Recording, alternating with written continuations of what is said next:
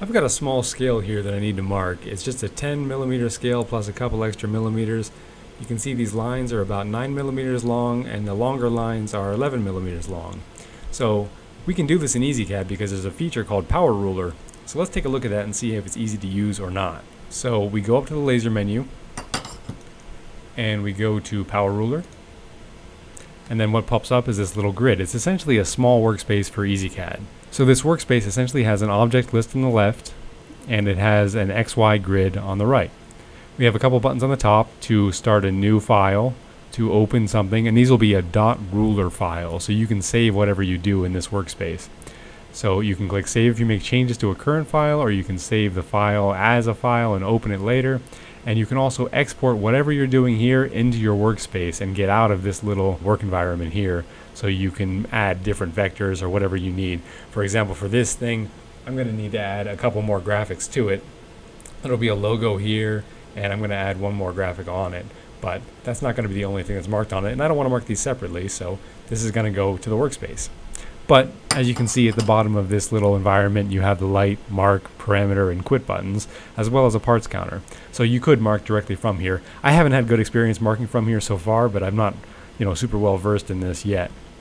So let's quickly look at how we can use this thing to mark a ruler or this little tiny scale.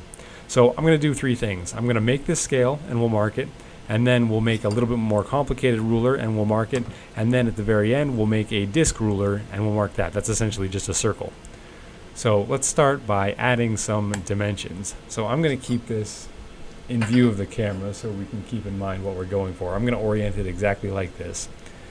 So you can see when we click on the add button, we have a big screen here with a bunch of options. But mainly on the top, we have three boxes. One that says type. So this is the type of graphic you're going to add. Do you want, just want to add a line? Do you want to add a value to the line? That would be like a number, zero, whatever. Or do you want to add some text to the line? That would be something identifying, let's say, the, the scale. So if you were making a scale for millimeters, centimeters, maybe something else altogether, like bar, psi, pounds, whatever, you can add that and you can orient that and change the size of it and the font of it in this second box. And lastly, on this first box, you can add a vector file. So if you had a logo or something that you wanted to mark in addition that you wanted to be part of the ruler, you could add that. And then this last box here is our friendly hatch box that we're pretty familiar with. If you're not familiar with that, go check out my video on the beginner's guide to hatching and I go through that in detail. So this would just be hatching our letters or our lines as well. And we want to do that because we want them to show up. We don't want them to have zero thickness. So let's take a look at what options we have here. Let's say we're going to add the lines. So that's going to be all of these long lines. Now you're going to have to add them in the order that they show up. Not in the order they show up, but in, in, in some kind of order. So I've got short lines and I've got long lines. Just two different types for this uh, little project. So I'm going to start with the lines. I'm going to start with the long lines. So to do that, we have three long lines. So for the pen number, now this is going to be based on your pen on the main parameters over here on the right. So I'm just going to use pen 1 or pen 0, that's fine. So for the graduation number, that's how many lines do you want? So I want a total of three long lines. Starting position, I want that at the 0 position. Increment position, how often do you want these lines to show up? I want them to show up every 5 millimeters. Line width, now this is where you add a little bit of thickness to your line so you have something to hatch. So I'm going to add almost nothing. So 0.05 millimeters is what I'm going to add. And then this over here on the right where it says start point and end point, this is actually what you're going to do to make your line longer or shorter. So it has an X start point and a Y start point. Now if you wanted to make a diagonal line, you could use both of these values. I'm just going to add a Y value, so we're adding length. So we're adding these lines vertically right on this axis, and you'll see it show up as soon as we add this. So I'm going to make these 9 millimeters long, and that's going to go from Y0 up to Y9. So our x is going to be right on the 0, 0 point. And let's just take a look at these last few boxes, even though they're not available for the line. So we don't have a start value or an increment value, but for the dot bit count, this is just a bad translation. What this means is your decimal point. So do you have trailing zeros after your decimal point? Do you want to have five zeros showing up after your number? And this is just leading decimal, leading zeros. So do you want to have three zeros show up before your number? And if you do, you have to click this checkbox. And these last boxes down here are if you're choosing a vector file, you can check these two arrows and pull your vector file in, you can scale it. So let's go back to our line. So we've got three of our big lines. Uh, let's see, 5, 0.05, 9. Oh, that's not 9, that's 11. but in this case, our top is going to be 0, so actually I did that wrong. So our y start point is going to be negative 2, and our end point is going to be 9, because we want this line to be longer than the others. Now you can do that backwards, but this is the way I'm going to do it. And we're definitely going to enable our hatch. For now, I'm going to choose this because I think it's going to mark the fastest. I'm not going to do all calc because I almost never do that. And the line distance, we're going to make 0.01. If you made this too large, nothing would show up because these lines are very small. So let's say OK. So we've got three lines on here. And let's zoom in a little bit. Notice that on the top of the screen, you have a little A to auto resize, plus and minus to zoom in and out. So you can see we have a couple lines protruding past our zero point. That looks fine. Now let's add some more. So we need lines that are now 9 millimeters long. And we have a couple different ways to do this but I think I'm just going to add them manually. So what I'm going to do is choose a line. We're going to have, let's see, one, two, three of these lines. Our start point is going to be the one millimeter line. We're going to increment by five millimeters. And we are going to choose the exact same line width of 0.05 we are going to choose an endpoint of 9 and let's see we're going to enable our hatch get rid of all calc choose the same pattern and change our distance to 0.01 so we'll say OK. And there's our first line. And we're going to add another line. And you can see this would be a lot faster if we were making let's say a yardstick or uh, you know a 300 millimeter or a 1 meter ruler but we're making this small, so we have to, we're not going to get that much benefit from the way we're setting it up. But you could also set it up in little batches, so you can make um, these nine millimeter long lines starting at position one, and then you could say I want it to show up for one millimeter for four instances. But in this case, we're going to skip past each one because this is how you would do it for a longer ruler. So this one's going to have also three instances. Our start point is going to be 2 millimeters. We're going to increment by 5 millimeters, and our width will be exactly the same of 0.05 millimeters. Our end point is going to be 9 millimeters. We'll enable the hatch, disable all calc, and give it a line distance of 0.01 for the hatch. We'll say OK. Now we have three lines. So we need a couple more, and we're going to go to a total of 13 millimeters. So this will be the last line that we're going to make three of. So we're going to have three our position is 3 millimeters. We're incrementing by 5 millimeters line width. And it'd be nice if they had a duplicate function over here on the left, but I haven't seen one, so I don't think there is one. I think you have to make these time and time again. Line width is 0.05. Enable, disable, 0.01. And let's use that pattern and change that to a length of 9 millimeters. Say OK. Now we need one more line.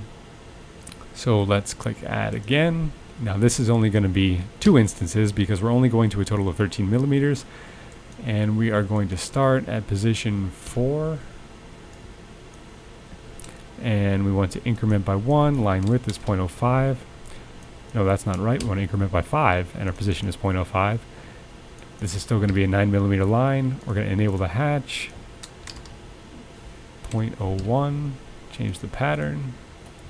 Did I skip anything? I think that's okay. Okay. We're missing a line there. No, we're not. Sometimes they just don't show up. The preview isn't necessarily that good, so you may have to zoom in and out to make sure your lines are there. Okay, so that's basically our setup, and now we want to add some some values to this so we can see what these lines actually represent. So to do that, we're just going to click the Add button again, except this time we're not going to add a line, we're going to add a value.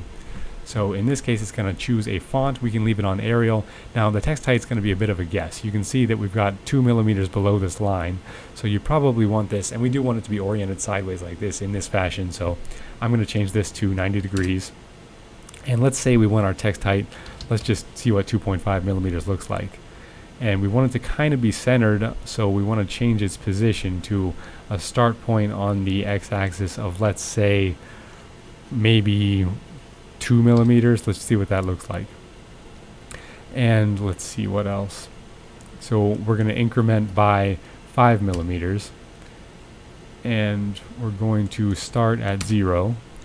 And we're going to have a total of three numbers showing up here. So we're going to have a zero, we're going to have a five, and we're going to have a 10.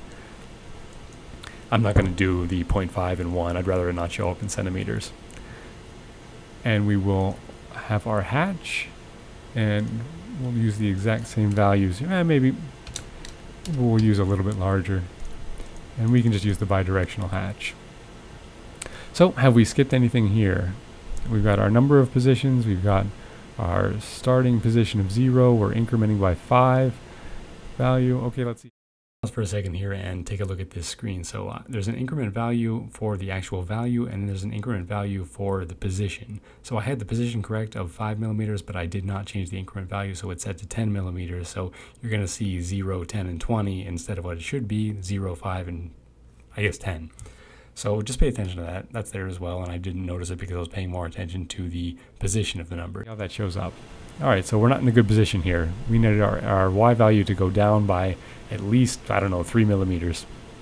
But you can see that's kind of how you, know, you have to click on the value every time you want to change it. So click Edit, y of negative 3, maybe something like that. And were we even close on the x? No, it looks like we were too far. Let's give it a x of 1. So that looks a little bit better, but we need to even go further than that. So negative 3.5, let's do that. All right, that's close enough just for demonstration purposes. And that's essentially all I'm doing there. So what you want to do when you're happy with what shows up is click Save As, so you don't have to make this again. And what's going to show up is the regular save dialog, and you can see it's a dot ruler format. We'll click Save. I already did save it here. So what I'm going to do now is export it to the workspace. You don't have to do that. I think it's going to mark better if you do, but you can see you can light it and mark it from here. I haven't had good results with that so far, but we can light it just to see what it looks like. So that's what you get, a big grid. I don't like that. I'm not going to do it from here.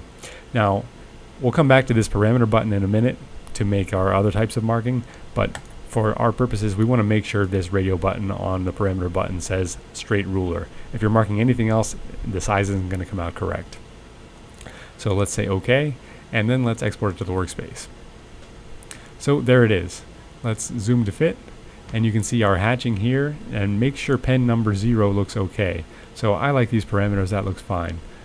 Let's select the whole thing. Let's light it. And I'm not going to put it on this, I'm going to get a scrap piece of aluminum. Let's put it on here. Let's light that. So there it is, and let's mark it. And that's what we have. And let's just put a ruler on it to see how close our dimensions are. So at an odd angle here. We'll have to pick it up. So that looks pretty close to 13 from my eyes.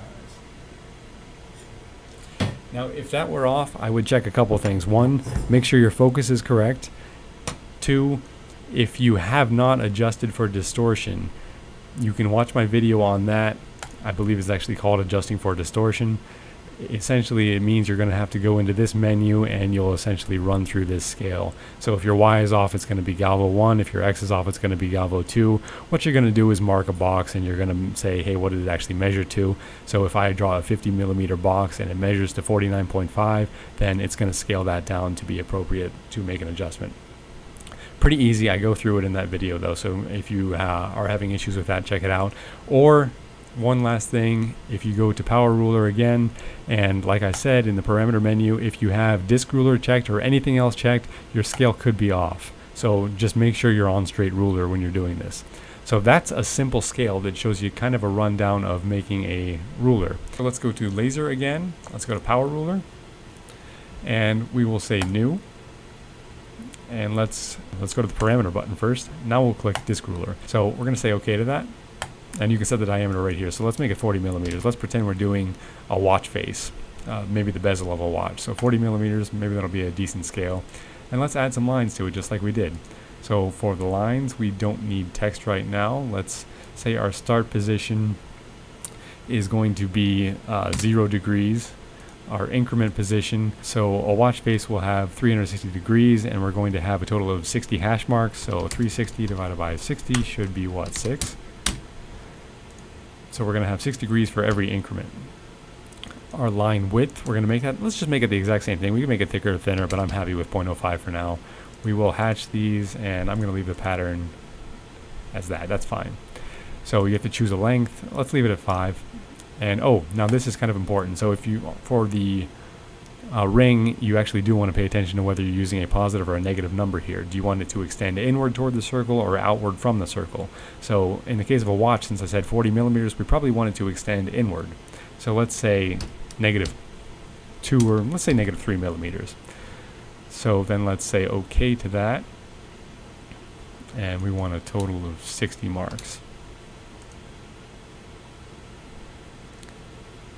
Did I hatch that? I did not. No, I did. Oh, the hatching is huge. 0.01. So there we go. There's 60 hash marks, and this total outside diameter should measure 40 millimeters. We can mark that real quick just to see what it looks like. Let's move the camera.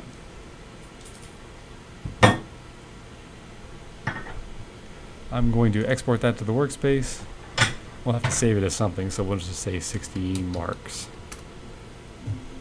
Let's zoom to fit. Let's light it up. Okay, we're not showing the hash marks, but there we are. And let's mark it.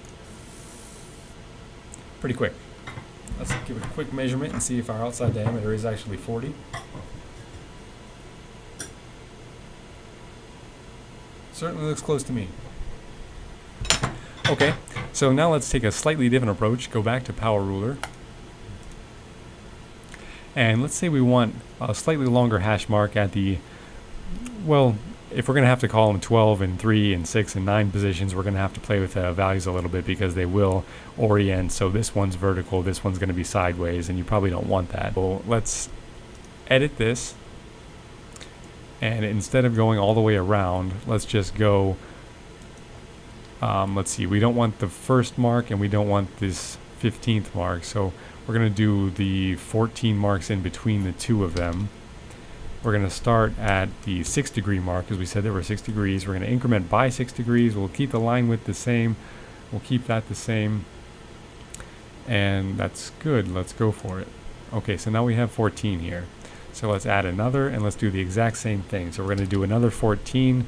We're going to start at let's see, uh, I guess it would be 180, right? 180 degrees, 186 degrees actually. We're going to increment by 6 degrees. Uh, line width will still be 0.05. We'll still be hatching the line. We'll do it with the same pattern, 0.01. And we're going to make this the exact same length of 3. Let's say OK. And did we hatch our previous one? That's hatched. That's hatched. This needs to be negative 3. Okay. Let's add another. Okay, I guess I was off on my number, 180. So let's uh, go 96 this time. So 14, we're going to start at 96. We're going to increment by 6. Line width, 0.05 negative 3, enable the hatch. It's getting a little tedious at this point, but at least we'll have a full example. And you can see my mistakes as I go. Line distance 0.01. I think I picked up everything. Let's say OK. So we need one more. I'm going to hope that's 276. 14. Start position 276. Increment by 6. Line width of 0.05 keep the length negative 3, not negative 0.3, negative 3. Enable 0.01. Okay, so we have a full circle here, but we're missing four hash marks. So let's add in those four hash marks. We just need four. We need to make them a little bit longer, so instead of negative 3, we'll make them negative 5. Let's enable the hatch and keep the same hatch line spacing, keep the same line width, maybe even make it a little bigger. So instead of 0.05, we'll make it 0.07 increment by, now this one we're going to increment by 90 degrees. And we're going to start at zero, that should be good. So now we have our long lines at the uh, 12, 15, or 12, 3, 6, 9, whatever you want to call it, position. Maybe we want to add some values in there, maybe we want them beyond it, maybe we want them below it, but you can do that, and you may have to add these sort of individually. So what I'll do here is I'll just add the 12 and I'll add the 6 and you can get the idea of what you need to do. So we're going to add values This will be text. Let's make it two millimeters tall. That might be too big. That's okay. And then let's put this at the zero position. We're going to have just two numbers. We're going to start with, um, let's start with zero, or I don't know. Yeah, okay, let's start with zero, and let's start with uh, 270. We'll increment by 180 and we'll put two instances. Our start value is going to be, let's say 30, and we're going to increment by 30. Let's see if that works. I guess we can make that bidirectional since we're talking about text now. And we'll make our line distance 0.025. So our 30 is upside down. So you can see you're going to have to play with this a little bit if you're going to go in a circle because we probably want these both to be inside rather than outside. And if we had these uh, two other lines, they would also be sideways. So you're going to have to play with this a little bit if you want it to work out to where it actually looks like, you know, a watch face or something like that. But that's the idea of the disc ruler. So we can mark that just for fun to see what it looks like. Let's export it. And that looks fine. Let's light it up. We may have to do it over top of something. Nope, here's a clean space. And let's just mark that real quick. So there it is. I think that's showing up. Looks alright. So that's the basic idea behind Power Ruler. You can do a straight ruler, a disc ruler, you can do, if you have the rotary, you can do any kind of ring marking, and it seems to work pretty well. And I would, my initial reaction after reading the manual was that this looks pretty complex and I don't know if I'm actually going to use it. But after using it a couple times, it's not too bad. If you're looking for something like this, an easy way to make a scale, I think it's worth a shot.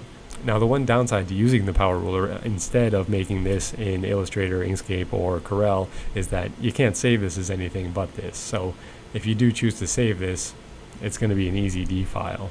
So if you ever, let's say, got another laser or you wanted to do something else with this file, you'd have to remake it in another program. So it might be beneficial if it's simple enough or if you think you're going to use this long term and you don't just want to make a quick scale, it might be beneficial to make this in a program that's going to last a little bit longer.